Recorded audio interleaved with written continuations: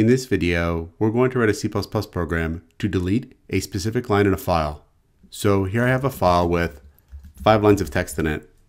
I want the program to prompt the user for the file name and the line number to delete.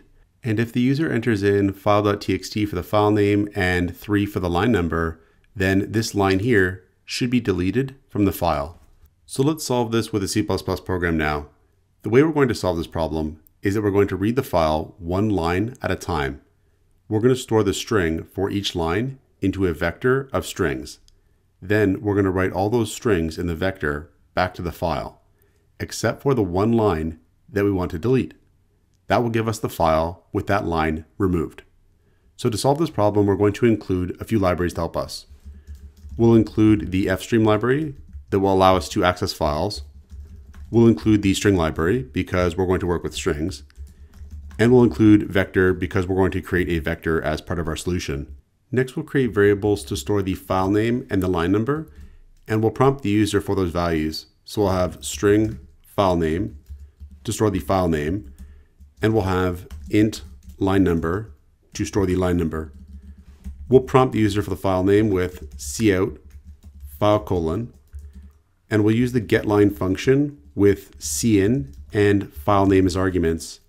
And getLine is going to read a line from standard input, and it's going to store the string into the file name string. Then we'll use cout to prompt the user to enter the line number. So I'll have cout line colon. Then we'll use cin to store the number the user enters into the line number variable. Next, we'll create the fstream object to actually read the file contents. So we'll have fstream read underscore file. Then we'll open the file with the given file name. So we'll have read underscore file dot open the file with the file name that the user provided. Now it's possible this could fail. Maybe the file doesn't exist. So we'll check for that with the fail method. We'll have if read underscore file dot fail is true. So if the fail method returns true, that means the file failed to open. And in that case, we're going to exit with an error message and status. So we'll have cout error opening file followed by an end line. Then we're going to return one. We're going to return one instead of returning zero because returning one is going to be an exit status that signifies failure to the shell. Next, we can actually read each line from the file and store it into a vector. So we'll create a vector called lines. And this will be a vector that stores strings. We'll also create a string variable called line to store each individual line as we read each line in from the file. And next we'll create a while loop to do that. I'll have while get line with read underscore file and line as the arguments. So this while loop is going to execute again and again, reading each line from the file and storing it into the line string variable. Now the while loop will eventually stop. The last line of the file will be the last iteration of the loop. In the loop body, we're going to take the line that we just read in and we're going to push it onto the back of the vector. So we're going to have lines dot push back line. So take that next string and push it to the back of the vector. So the vector will hold the lines in order. The first element of the vector will be line 1. The second element of the vector will be line 2, and so on. Now that we're done reading the file, we can close it. So we'll have read underscore file dot close. Now one possibility we should account for is that the user wants to delete a line number that's not actually in the file. So this file only has five lines in it. If the user wants to delete line 6, that doesn't make any sense. So we'll check for that and we'll exit with an error message and status if that's the case.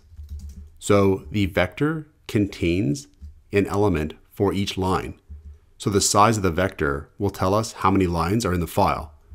So if the line number is greater than the number of lines in the vector, that means the line is not in the file. And in that case, we'll output that. We'll have line space, the line number, and then not in file, followed by an end line. We'll also output how many lines are actually in the file. So we'll have cout file has, and we'll output the number of lines in the file as given by the vector size, followed by lines, and then an end line. And again, we're going to return one as an error exit status. Next, we'll write all of the lines that are stored in the vector back to the file, except for that one line that we want to delete. So we'll create an OF stream object called write underscore file help us write to the file. We'll again have to open the file. So we'll have write underscore file dot open and we'll open the file with the given file name again. And this could fail, so we'll check for that with the fail method. So if write underscore file dot fail is true, we'll again exit with an error status and message. So we'll have cout error opening file followed by an end line. And again, we'll return one as an error exit status. Now, because we've opened the file for writing with this OF stream object here, the file is going to be made blank and whatever lines we then write to the file will become the new content of the file. Now in the vector at index 0, we have line 1. At index 1, we have line 2. At index 2, we have line 3, and so on.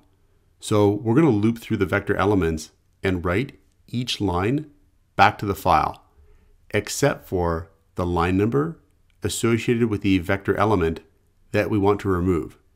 So we're actually going to decrement line number by one because if the user wants to delete, let's say line number three, that's going to be stored at the vector element index two. So by decrementing line number by one, we can check to see if line number is equal to a loop counter variable that's going to go through each vector element index. So we'll have for int i is equal to zero, i is less than lines.size, i plus plus.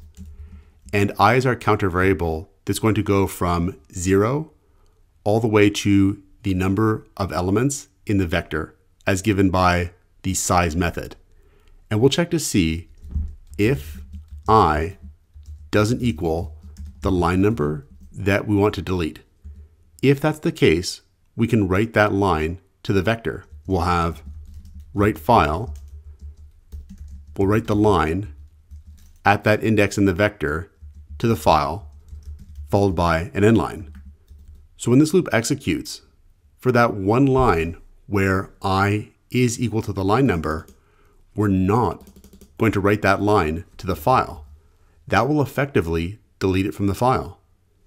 Now we can close the file since we're done writing the lines back to the file. So we'll have write underscore file dot close. And I'll just fix one typo. This here should be lines.size to give us the size of the vector. Line was the string variable name. So we can save this and compile and run our program. And I'll enter in file.txt and then let's say line 3. So we'll have file.txt and line 3. And if I check out the file afterwards, we see that line 3 has been deleted. We could try it again, and this time we'll test the case that the line number is not in the file. So again, we'll run it. I'll enter in file.txt and let's say line number six. And we get line six not in file. File has four lines. So our program is working correctly. So this is how we can delete a specific line from a file using C++. Check out portfoliocourses.com, where we'll help you build a portfolio that will impress employers.